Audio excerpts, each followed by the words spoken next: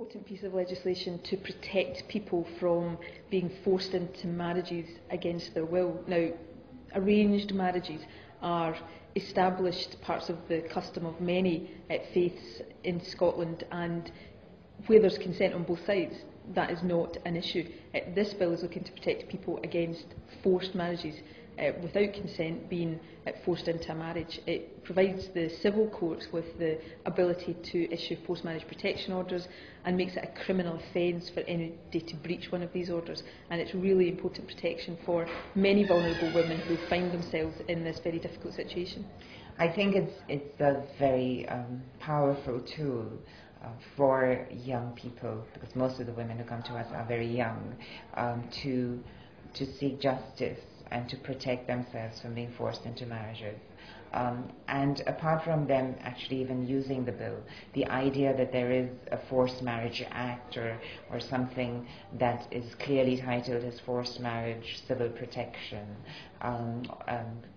will go a long way in letting people know that uh, this is wrong. Just the fact that it exists lets people know that uh, forced marriages are wrong and that you can seek assistance and that the Scottish government and Scottish society is taking this problem very seriously.